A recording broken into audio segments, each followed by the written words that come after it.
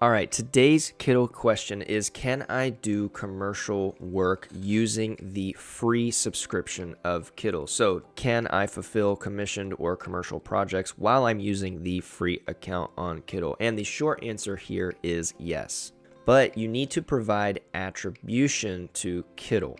And what this basically means is that you are giving credit to Kittl whenever you are posting or publishing or sharing that design online. Wherever that is going to live, you are going to credit Kittl with providing or making that graphic.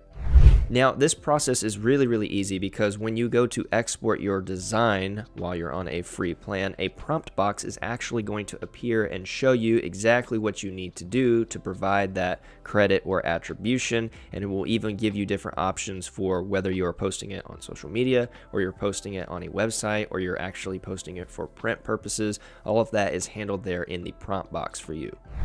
So what this means is as a free user, you are acknowledging and accepting that the design was created with Kittl and that the designs must be labeled with a credit line such as created by Kittl or provided by Kittl. Again, that will be provided to you with the prompt box that appears when you export a design. Wherever you decide to sell or post or share that design, you'll need to have one of those two credit lines in your caption or description. Now we do our best to keep our licensing for Kittl extremely fair and easy to understand. And so we don't have any specific limitations on illustrations or elements or fonts or things like that. Whereas other programs sometimes will have specific licensing catered to this set of images or these sets of fonts or these sets of elements.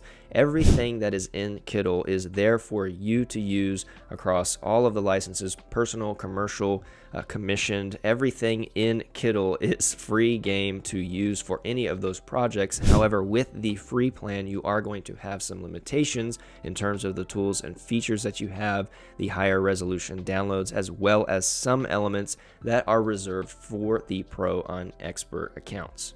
And with the Pro and Expert accounts, you don't have to provide any attribution or crediting. So if you feel like that is a hurdle for you or a bit annoying, then perhaps upgrading to the Pro account might be best for you given those limitations in the free plan because in my experience, I'm not sure you're going to have the full power and capability with the free plan to actually fulfill commissioned or commercial work. And perhaps I'm wrong, and that's totally fine. But I feel like you are going to need those higher resolution downloads, those extra features that are reserved for the pro plan to actually fulfill uh, commissioned and licensed work.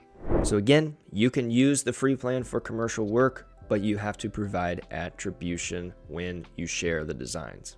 So let me know in the comments if you have any other questions around this kind of commission or commercial licensing. We would love to hear and tackle those for you. And also just let us know if you have any other questions about Kittl in general. Have you been trying to do something? Have you been trying to find something?